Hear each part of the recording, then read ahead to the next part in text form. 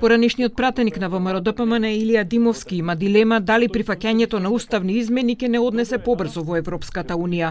Во емисијата на ТВ21 Клик Плюс тој рече дека ако ги донесеме измените на уставот, влегуваме во ризик на постојани барања од Бугарија и затоа смета дека наместо уставни измени потребна ни е кохезија на нашето општество. Ако ги прифатиме уставните измени, ние ќе влеземе во патеката кон Европска Унија напишана со така наречениот француски договор каде што има десетици и десетици бугарски барања внесени во преговорачката рамка преку протоколите и преку договорот за добрососедство, кои што ќе значат или наше апсолутно прифаќање на тие барања, кој што го слушаме Радев, кој што ја слушаме Јотова и така натаму, или ќе значи одолговлекување. Не смееме да ја прифатиме тезата дека преговараме само со Брисел, заради тоа што во Брисел еднакво право на одлучување има и Софија.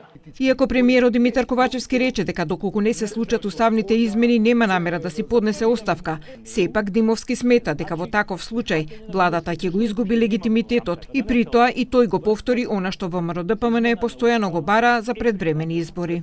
Ако не бидат прифатени уставните измени во собранието, а така изгледа дека ќе биде, оваа влада Него губи легитимитетот во сурова смисла на зборот, во смисла на бројките во, во собрание. Таму успеваат да се двајца, тројца плюс да залепат.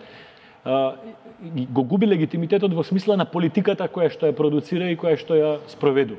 И веднаш после тоа мислам дека би било коректно за општеството, не за политичките партии, настрана политичките партии, за општеството да се организираат избори. Димовски рече и дека на следните избори кога ВМРО ДПМН би добиле околу 55 пратеници, тогаш оние кои сега се најгласни во ДУИ први ќе дојдат да преговараат со нив.